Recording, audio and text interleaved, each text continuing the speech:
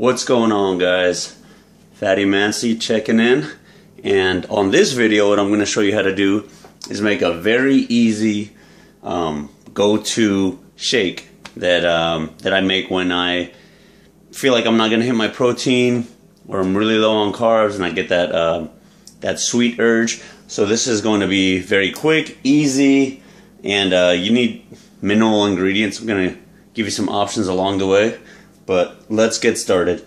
So the ingredients you're gonna need is uh, one cup of water uh, or milk, almond milk, ice, or sorry, almond milk, um, coconut milk, whatever you want to use.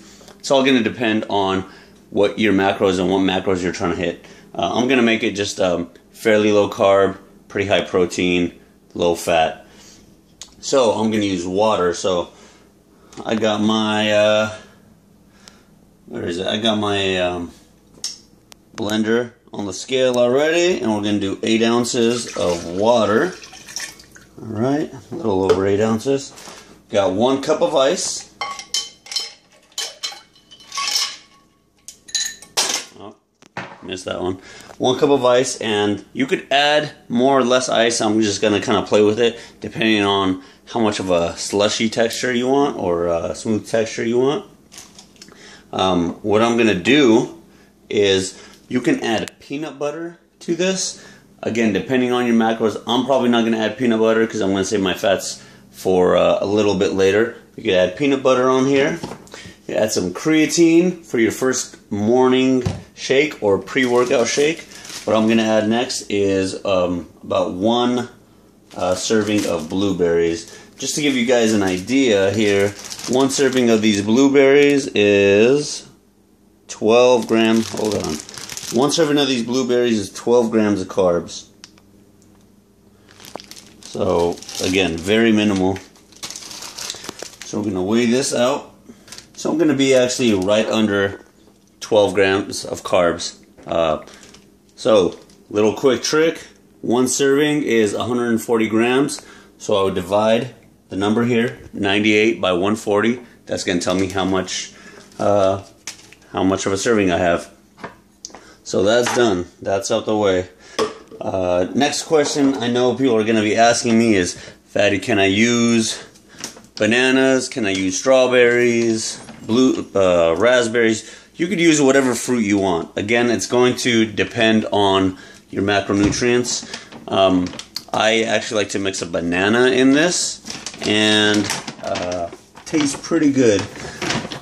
But I'm gonna keep it just real simple because you boys on a little bit of a cut, so I'm trying to save my calories for later.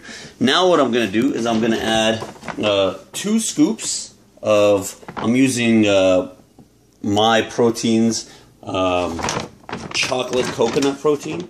So the macros on this are two grams of fat, one gram of a carb, and 20 grams of protein per scoop or 25 grams.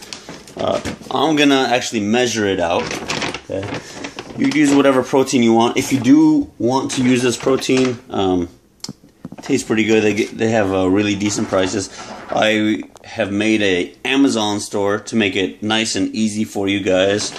Uh, so that link will be in the description. Alright, so we're at 26. I'm trying to get to, what is it? 50 grams. Almost there.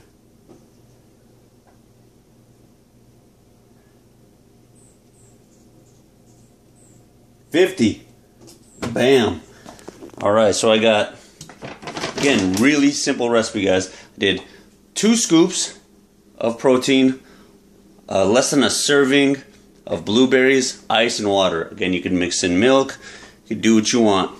I'll be right back. I'm to blend this up, and I'm to show you guys the finished product.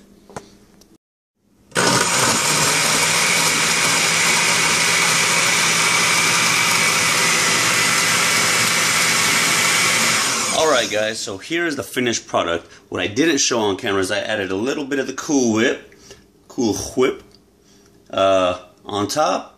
I added three servings. So the total macros for this Um, and then I still got a bunch left over, as you see right there.